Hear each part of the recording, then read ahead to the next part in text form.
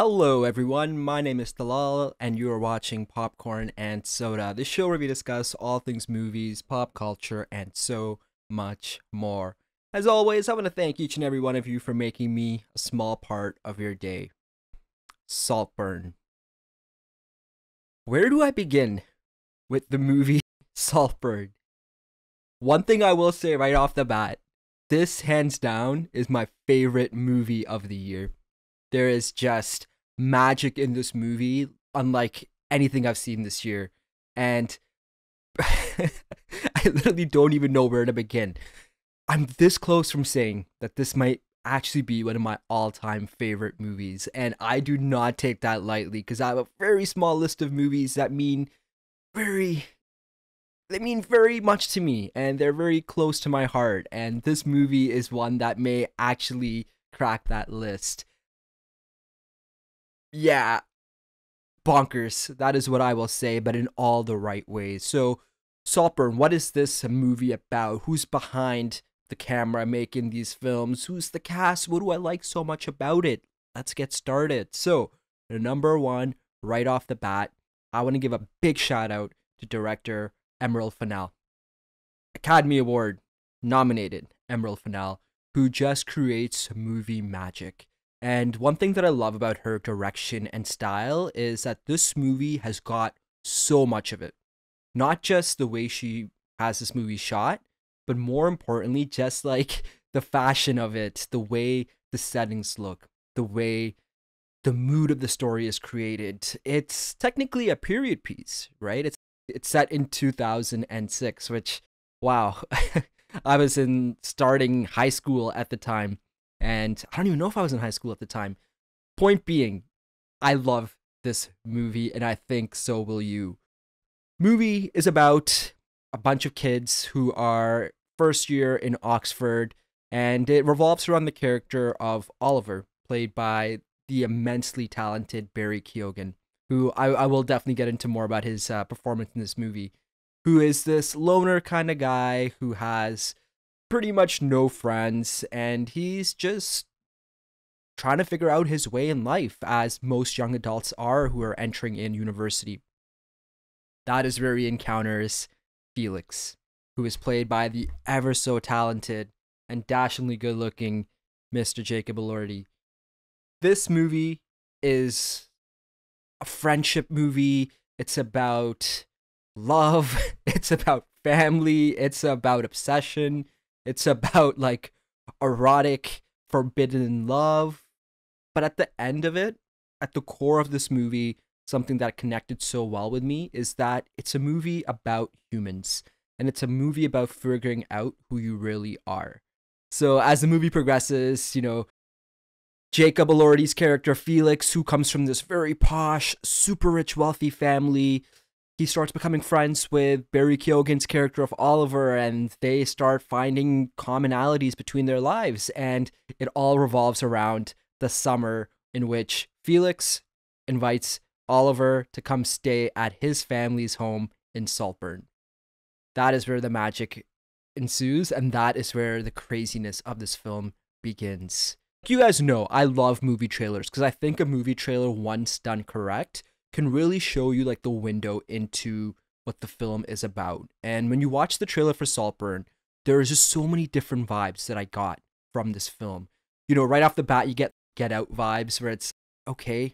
This family is kind of a little kooky. Like, what's going on? There's definitely something going on underneath the facade of this massive mansion, their house their money. There's definitely something going on. And then you see a character like Oliver, played by Barry Keoghan, who you want to root for almost. You relate to that character because at the end of the day, as human beings, we all have self doubt. We all want to be accepted. We all want to make friends. And I think the trailer does set that up very well, where I was so intrigued. And I just love that trailer so much because it, it hooked me right in and as you watch the movie, it's like this movie is like the perfect onion.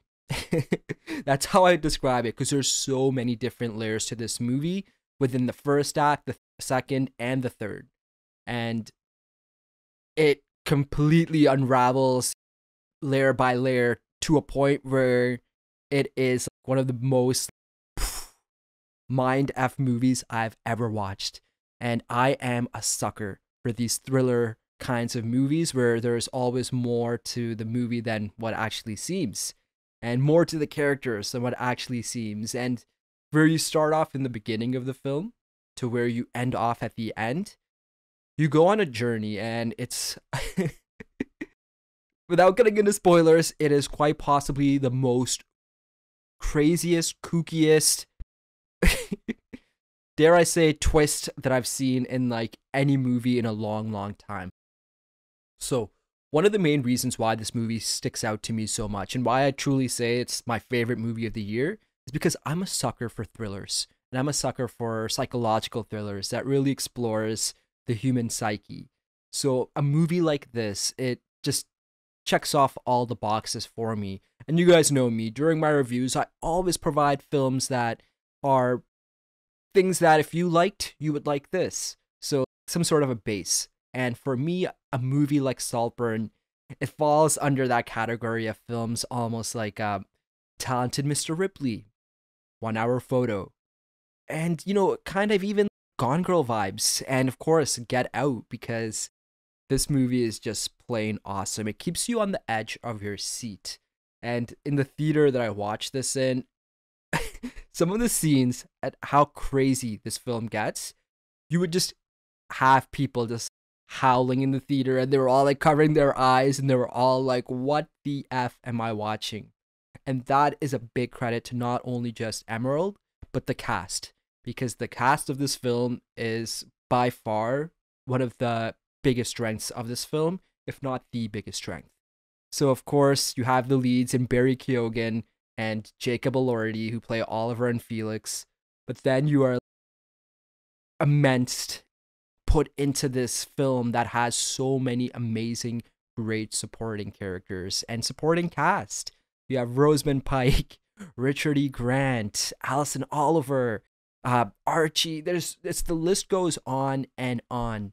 And that is why I love this film because every character has a moment to shine, and every character pretty much is a well fleshed out character. And they're so well fleshed out that you notice that all of these people have major problems. And all of these people are not really who they seem to be. But that's the magic of a film like this that has so many twists and turns. I gotta talk about this because i am a big big lover of fashion. It's something i've grown up loving. And this movie the fashion and style that emerald fennell captures the 2006 vibe spot on because I swear I literally wore half the things that Jacob Elordi's character in this film wore when I was in 2006. You know, you have the button-up shirt that's not very well ironed. You've got a bit of the baggier jeans. You've got some of the bracelets. Uh, I remember just thinking how cool like the eyebrow piercing was at that time.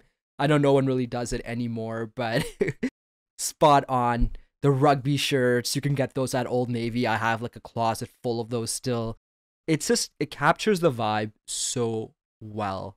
And even the character of Oliver, because Barry Keoghan, who is the lead of this film, he does such an amazing job making you feel for this character. And you see yourself in different parts of the movie in Oliver.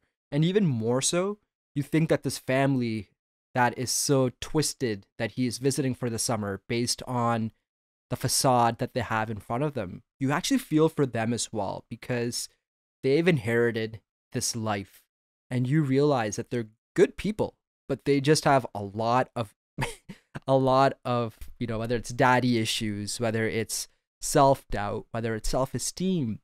It is an amazing amazing time at the movie one thing that I will say, the standout for me in this film is the relationship between Barry Keoghan and Jacob Elordi.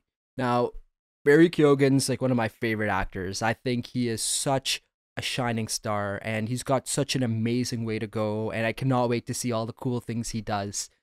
He plays that kooky, strange character so well. Almost too well, especially in this film.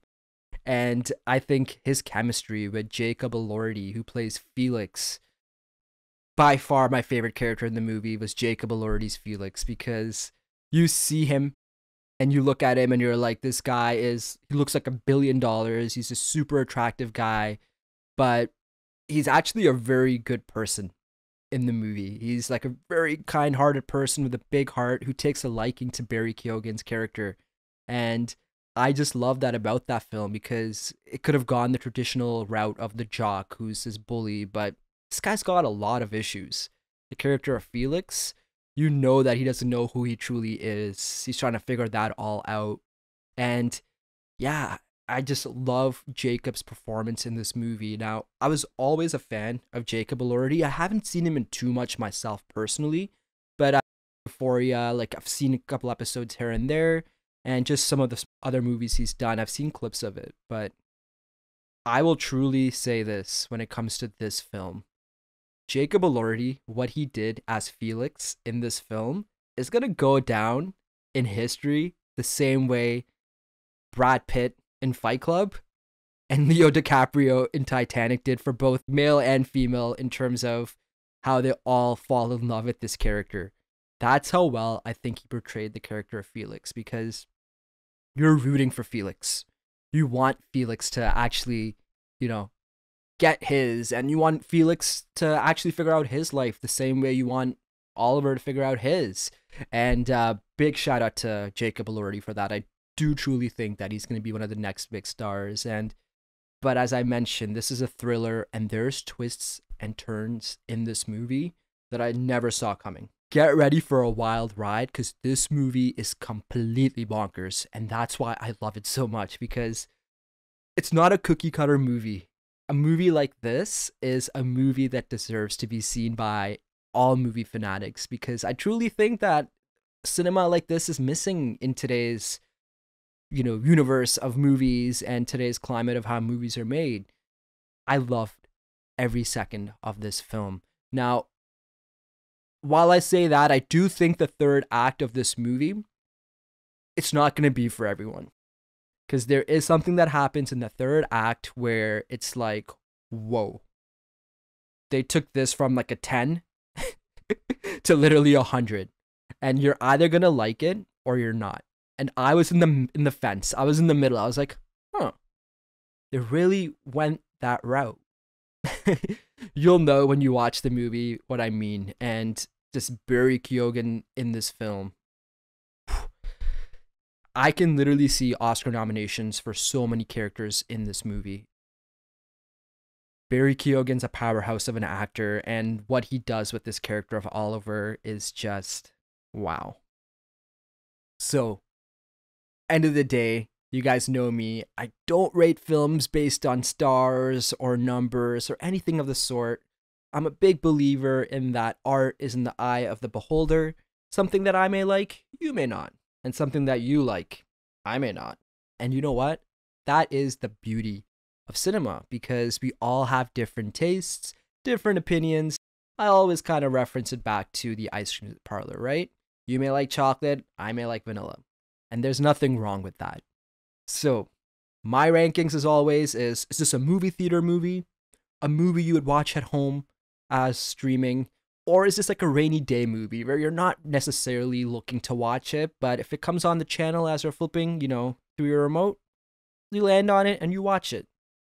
To me, hands down, Saltburn is a movie that needs to be experienced on the biggest screen possible talking about the big screen possible. It's got that amazing square aspect ratio. And I think that brings so much more to the movie because you feel like you're part of that world of Saltburn. It is such a great decision to have this movie in that aspect ratio because it's different. It's not something you see in films like this. The last time I watched a movie in that aspect ratio is Zack Snyder's Justice League.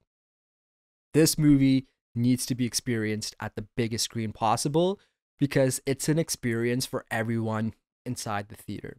It truly is. You're going to see people cringe. You're going to see people smile. You're going to hear laughter. You're going to hear disgust. You're going to hear even some tears in the audience. And that is what I love about the movie going experience. It's a shared environment in a movie theater where for two hours we can all just forget about outside life problems and just be in there together and enjoy this. So I recommend everyone to watch this movie in a movie theater because we need films like Saltburn to succeed.